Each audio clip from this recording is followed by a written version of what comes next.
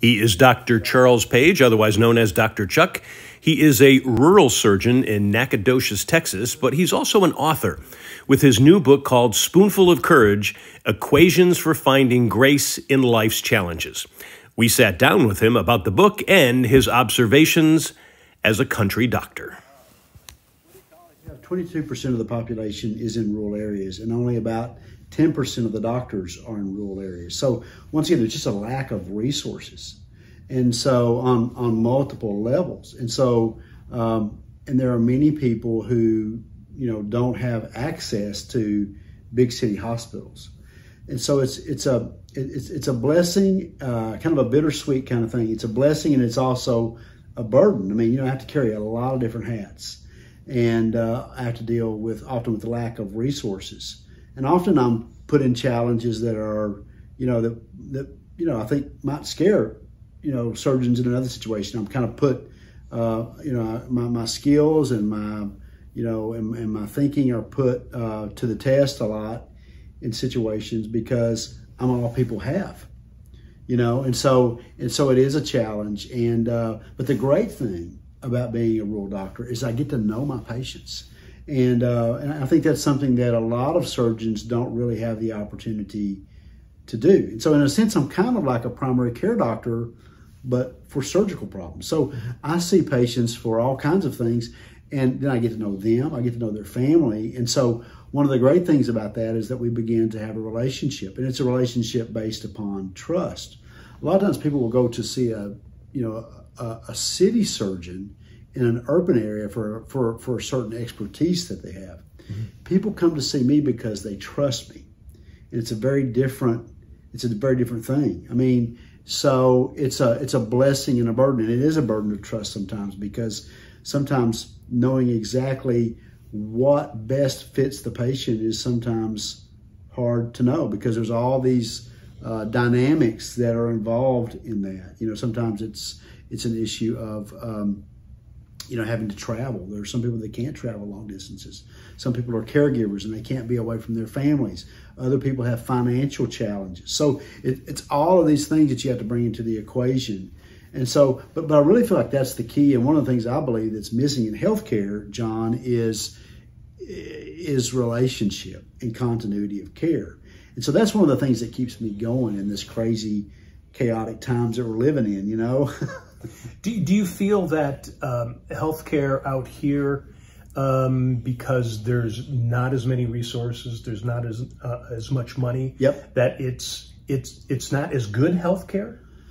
I think in some ways it's much better as far as people's experience. You know what I'm saying? There are things that we can't offer here, you know? And so, you know, for example, sometimes we transfer patients to bigger hospitals because just because of lack of resources. And sometimes it's not necessarily expertise. Sometimes it's just, for example, uh, if you have a sick patient in an ICU, that can consume all of your resources, not just your, uh, you know, not just your ventilators or whatever. It consumes, you know, your nursing care. And so a lot of times in a bigger place, they're able to absorb that that better. Uh, not necessarily that they have more expertise than we do. It's just that they have they have more people to help bear that burden. What's great about your book, Spoonful of Courage, is yep. the fact that you tell so many great stories of your patients and the different things. And I think if you were a city doctor, you wouldn't have the ability to really delve into them. Talk about how those experiences created this book called Spoonful of Courage and the equations that you give people. Well, I mean, you know, so once again, John, I have seen the best and the worst of people, you know, uh, and I've seen people respond in very just amazing, magnanimous ways to their circumstances. And I've also seen the rever reverse. And, you know, as you journey with people through their health crisis, you begin to kind of pick up certain patterns of the way that they think about their their life challenges. And that's kind of where these formulas kind of came out. I first heard these formulas from um, Jack Canfield. Um, and there's also another book by Urban Meyer called uh, Above the Line. And it kind of gives the first two formulas. um, about how people, you know, kind of uh, think about their circumstances. But as I would listen to them, I realized that there's another group of people, there's another group of thinkers, um, and that there was something missing in the equations. And as I as I began to think about that, I realized that one of the things that's missing is uh, bringing a higher power into the equation, and that's kind of what we do in the in the in the second part of this book is that we we look at it from a different perspective, adding a, a, what I call the grace factor into that. Okay, so you don't feel like you're going to be turning off people who are oh, maybe I'm anti-religion. You, you, think that this is the book for them? I think that there's something for everyone to get from the books, no matter what your particular religious perspective or your religious worldview is.